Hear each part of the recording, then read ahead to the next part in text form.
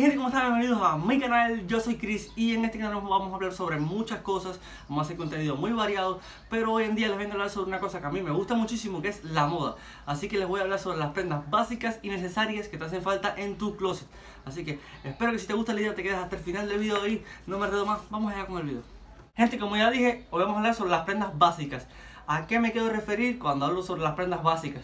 Gente, son esas prendas que cuando tú vayas a tu closet y no tengas creatividad para ponerte nada o no quieras como que arriesgar mucho, te pones esa ropa y sabes que siempre te va a quedar bien, que te va a quedar bien con todo tipo de outfit, con todo tipo de cosas. Así que esa ropa es lo que vamos a hablar hoy en este video. Así que vamos allá con esas prendas básicas y necesarias que tienes que tener obligatoriamente en el closet. Gente, una cosa que les quiero puntualizar es que yo no soy experto en esto de la moda, pero si me hubieran dado estos consejos y estas prendas hace mucho tiempo, creo que hubiera mejorado muchísimo mi closet y mi manera de vestir. Así que ya como dije, estos son de mis experiencias, así que sé que les va a gustar mucho el video, así que vamos allá, no me voy a enredar más. Gente, la primera prenda básica y necesaria que te hace falta en el closet es un pullover blanco o un pullover negro. Yo sé que ustedes se estarán preguntando, ¿quién no tiene un pullover blanco o un pullover negro? Todo el mundo tiene un pullover blanco o un pullover negro. Sí, gente, a lo mejor todo el mundo tiene un pullover blanco o un pullover negro, pero lo que me quiero referir en este video en concreto es sobre pullover básicos, pullover sencillos que no tengan carteles, no tengan logo, como lo que les voy a estar poniendo aquí en pantalla. Sí, creo que les voy a estar poniendo aquí en pantalla.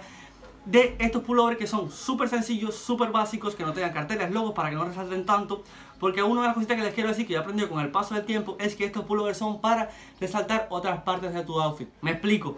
Te compras este par de zapatos que siempre quisiste y te lo llevas a poner, te lo llevas a rockear, quieres que luzca mucho, mucho, mucho, o cualquier prenda de tu outfit, te pones un pullover blanco, un pullover negro, sencillo, sin logo y sin carteles, y esto va a hacer que esa parte de tu outfit resalte mucho más. También te lo puedes poner con chaquetas, con otros accesorios, ya que estos pullovers combinan con todo, son dos colores muy, muy, pero que muy combinables, así que un pullover blanco, un pullover negro, gente, lo primero que deben tener en el closet obligatoriamente. Si no lo tienes, tienes que tenerlo ya, ya, ya. Quédate al final del video para que veas otras cositas que sé que te van a hacer falta. O que si ya la tienes, pues mejor.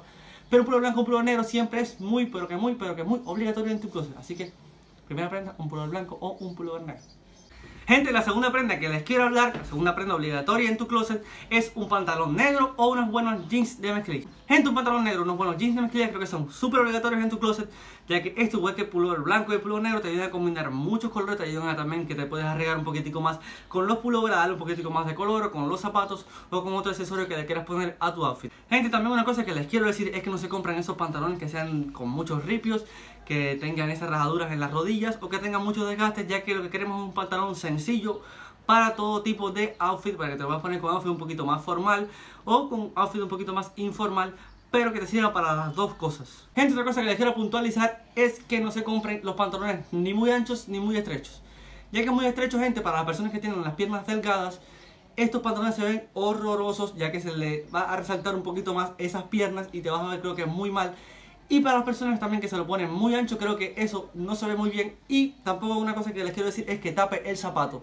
Cuando el pantalón tapa el zapato, gente, creo que se ve muy feo, se ve horroroso. Creo que el zapato debe lucir y todo debe estar en su lugar. El zapato abajo, el pantalón, el pullover y que nada esté como uno encima de otro. Justo deberían llevarse por encima de los tobillos dos deditos por arriba, así que creo que dos dedos por arriba de los tobillos, creo que a mí me gusta así, a lo mejor a ustedes no les gusta así, para los gustos los colores, pero creo que una cosa que quiero decir es que por favor no se lo pongan tapando los zapatos, eso sí es una cosa prioritaria que les quiero decir, que creo que deberían hacerlo todos, así que si tienes un pantalón muy ancho, sabes que lo puedes llevar a un sastre o a una costurera, así que te lo puedes comprar ancho en la tienda o ancho en el lugar donde, te lo compraste y después arreglarlo y que te quede a la medida. Así que un pantalón negro o unos buenos jeans de mezclilla, súper, pero que súper necesario en tu closet. Pero claro, como ya dije, sin rajaduras, que no esté ni muy estrecho ni muy ancho. Así que estos tres consejitos creo que son los que les quiero dar, así que vamos con la tercera prenda. Gente, la tercera prenda que les quiero hablar creo que es un poquito más para hombres, aunque yo sé que muchas mujeres lo llevan y se les ve muy bien a las mujeres es sobre las camisas mangas cortas. Así que la tercera prenda que te hace falta en tu closet es una camisa mangas cortas. Gente, porque hay una camisa mangas cortas y una camisa mangas largas. Ya que la mangas largas es una camisa muy formal, es para esos días que son un poquito más especiales, para, no sé, para una entrevista de trabajo o para una boda, para unos 15. Creo que yo me lo pondría para ese tipo de ocasiones, creo que es para un día muy especial. Y las camisas mangas cortas son también camisas un poquito informal, sin ser también como un poquito formales. Ahora me voy a explicar. Depende de cómo te la pongas, creo que es el resultado que vas a obtener Aquí van a ver en pantalla de lo que me estoy refiriendo. Si te la pones de esta forma, creo que se ve como muy fresco, como muy informal. Y si te la pones de esta otra forma que estoy poniendo aquí, te ves un poquitico más formal, más para salir a otro tipo de lugares. Y también te lo puedes poner con pantalones, con chores, con lo que desees, ya que se ve bien.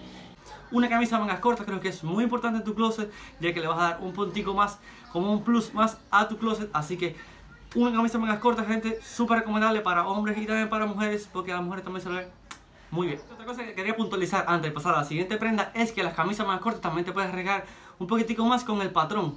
Ahora me voy a explicar, como lo que están viendo en pantalla.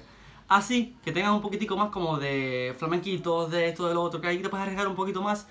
Y también unos colorcitos que sean combinables, o eso sí, unos colorcitos que sean claritos, que no sean tan llamativos las cosas que también tiene, como que los flamencos no sean tan llamativos y esas cosas, que sea todo como súper limpio, súper sencillo, pero también te puedes arriesgar un poquitico más con esos mosaicos, con esos patrones, así que creo que eso era lo que quería puntualizar, así que ahora sí vamos con la otra prenda que es muy necesaria también en el closet. Gente, la cuarta prenda que les quiero hablar es sobre unos buenos shorts.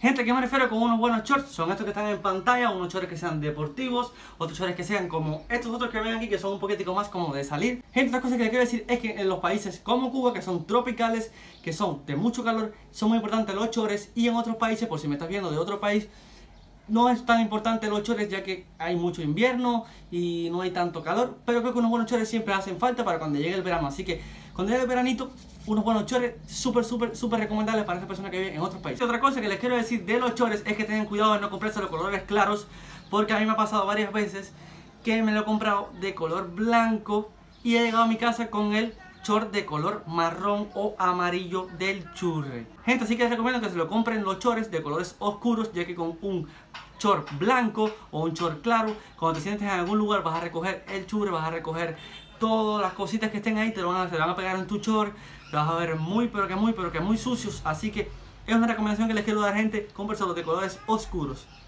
Así que gente, unos buenos shorts, también combinables con camisas, mangas cortas, con camisetas, con pullover, son muy combinables, te vas a ver muy fresco y te vas a ver muy bien. Así que unos buenos shorts, gente, súper, súper, súper necesarios en tu closet. Hace mucho calor aquí en Cuba, mucho calor, te pones unos buenos shorts. Gente, otra cosa que les quiero decir, que los shorts lo lleven un poquito por encima de la rodilla. A mí me gusta dos o tres deditos por encima de la rodilla, que no sea tan arriba, pero tampoco que me tape la rodilla. A mí personalmente no me gusta así, si a ti te gusta así, pues para los gustos los colores, pero a mí me gusta por encima de las rodillas un poquitico. Así que creo que unos chores, uno o dos deditos por encima de las rodillas, sean deportivos o no sean deportivos, creo que queda muy, pero que muy, pero que muy bien. La quinta prenda de la que les quiero hablar, y no menos importante, solo la puse en el quinto puesto, porque es muy difícil de conseguir en países como Cuba, es una chaqueta de mezclilla o una chaqueta de vinil o de motorista como se le dice por ahí.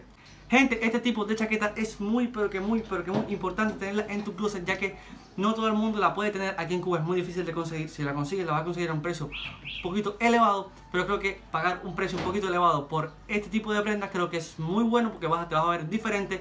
Por lo menos aquí en Cuba te vas a ver un poquito diferente, no todo el mundo las trae. Y si te vives en otro país y te las puedes conseguir, pues cómprate una de estas dos o las dos si puedes porque son muy importantes. Una cosa que quiero decir es que este tipo de chaqueta pega con todo, combina con todo tipo de outfit, con outfits un poquito más formales, con informales, con sport, con lo que quieras llevar se ve muy bien, por eso la pongo en este video ya que creo que necesitamos todos este tipo de prenda en nuestro closet. Gente, otra cosa que les quiero decir, pues si uno de ustedes tiene pensado comprarse una o se la puede conseguir, es que se la compren de mezclilla. ¿Por qué digo de mezclilla y no digo las de vinilo, las de motoristas? Ya que gente, la de, este tipo de material de vinilo de la, de motoristas son un poquito más difícil de conservar.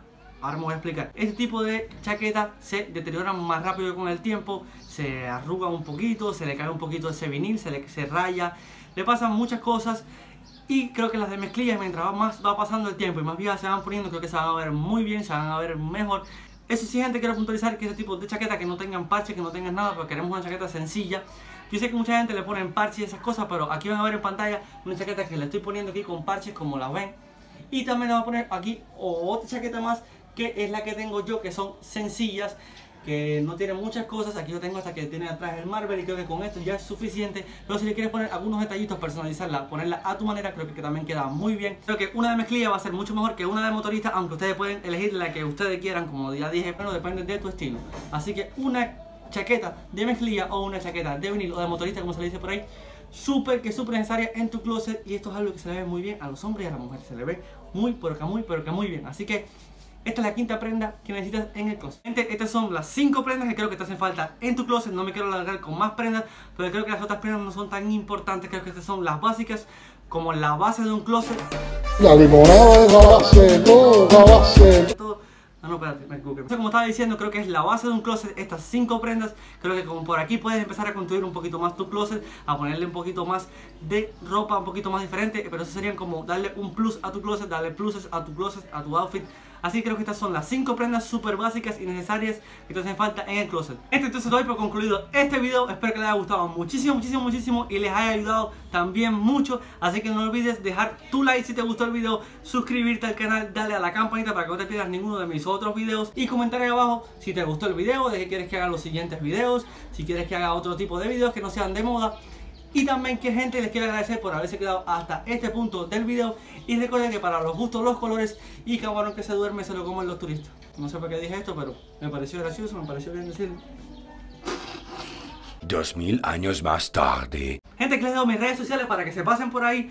Ahí voy a estar subiendo también contenido, voy a estar subiendo cuando esté haciendo videos y también voy a estar subiendo otras cositas, otras sorpresitas que les tengo. Así que síganme por mis redes sociales, gente. También para cuando haya un video aquí en YouTube, yo se los voy a notificar por ahí. Les voy a avisar para que vengan hacia este canal. Así que, chao, chao, mi gente. Cuídense y nos vemos en la próxima. Es muy... Pídete el pito por ahí.